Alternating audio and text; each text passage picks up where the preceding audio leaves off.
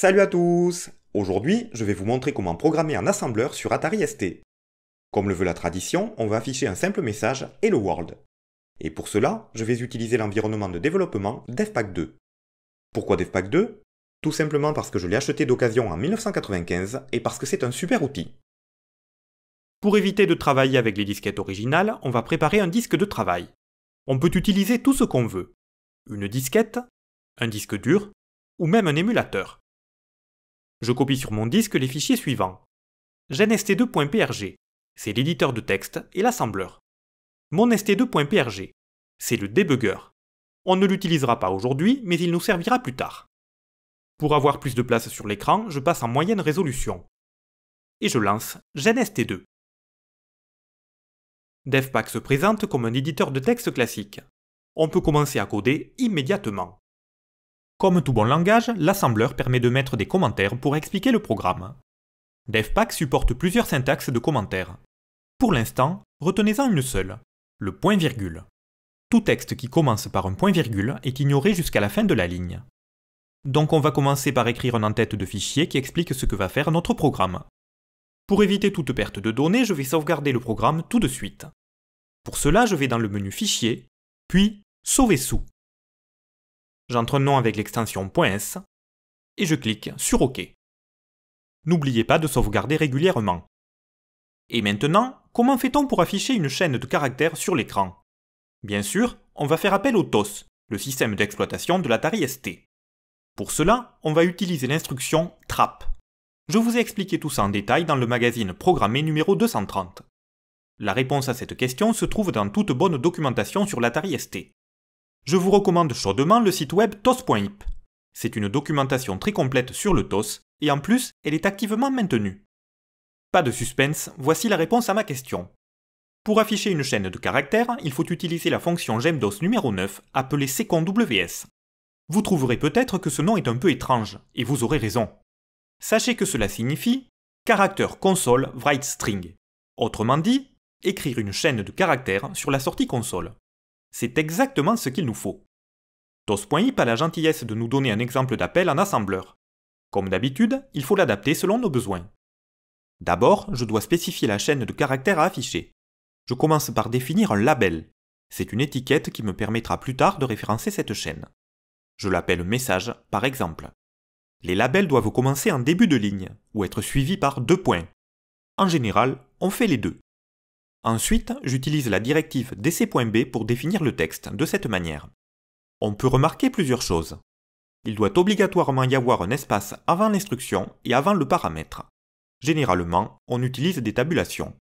La directive dc.b permet de définir des octets de données, séparés par des virgules. Si on indique une chaîne entre guillemets, chaque caractère est converti en code ASCII et stocké sous forme d'octet. Si on indique un nombre entier, il s'agit directement d'un code ASCII. Certains d'entre vous auront reconnu les codes ASCII 13 et 10. Ce sont les fameux CR et LF qui indiquent une fin de ligne sur Atari, comme sur MS-DOS et Windows. Et enfin, le code 0 indique la fin de la chaîne de caractères. Notez que DC.B n'est pas une vraie instruction du langage machine, c'est une directive.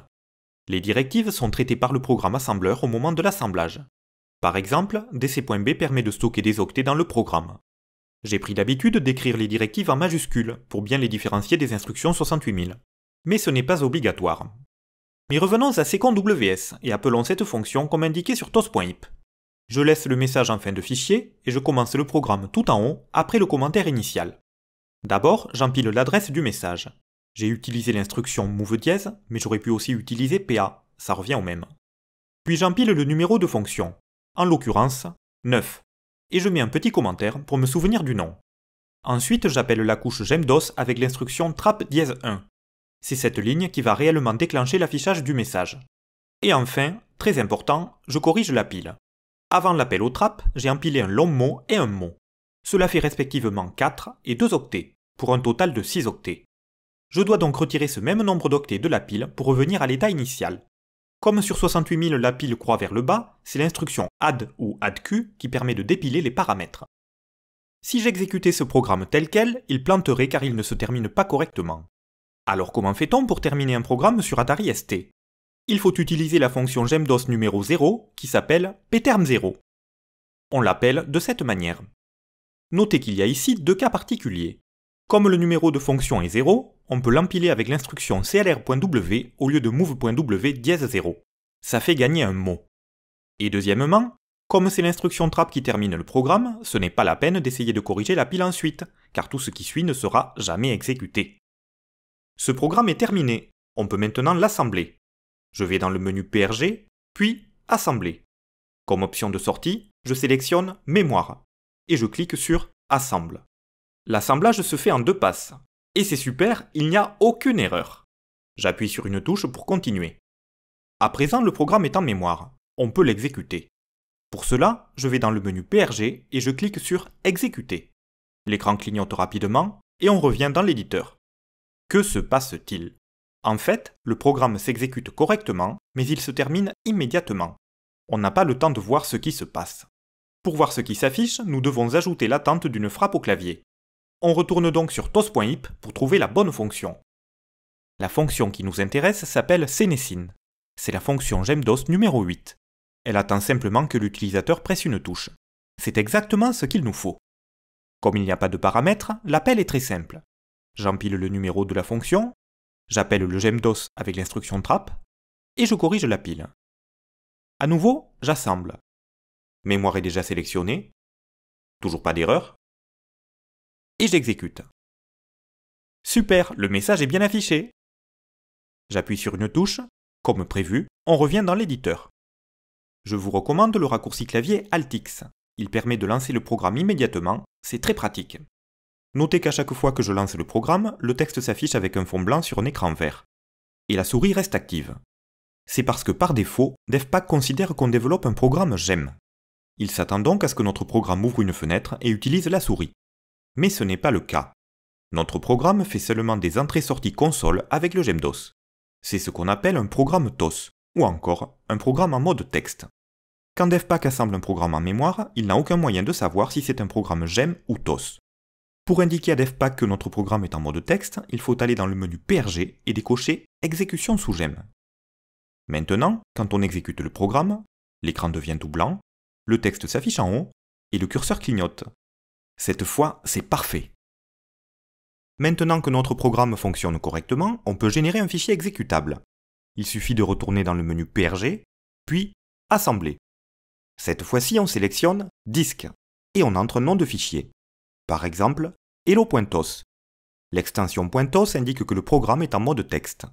Dans le cas d'un programme GEM, on aurait utilisé l'extension .prg. Je clique sur Assemble, et voilà, le fichier exécutable vient d'être créé. Je n'oublie pas de sauvegarder le source, et je quitte DevPack. On voit qu'un nouveau programme Hello.tos est apparu. Bien entendu, je peux le lancer depuis le bureau. Et ça marche parfaitement. C'est un exécutable indépendant, il n'a pas besoin de DevPack pour fonctionner. On peut le copier sur une autre disquette ou un disque dur. Si on regarde les propriétés du fichier, on voit qu'il fait seulement 75 octets. C'est minuscule. Vous voyez, l'intérêt de programmer en assembleur, c'est qu'on maîtrise complètement tous les aspects du programme. Et les exécutables produits sont les plus petits possibles. Voilà, je vous ai montré comment faire un programme en assembleur sur Atari ST. C'est un peu particulier, mais avec un peu d'entraînement, on finit par se débrouiller. Bien sûr, il faut apprendre les instructions du 68000 et se familiariser avec les fonctions du TOS. Mais avec une bonne documentation et un peu d'entraînement, c'est tout à fait accessible. Au fait, ne croyez pas qu'on fait toujours des programmes sans erreur.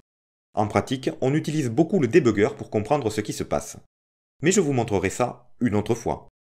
Pour l'instant, je vous dis tout simplement à bientôt pour de nouveaux tutos.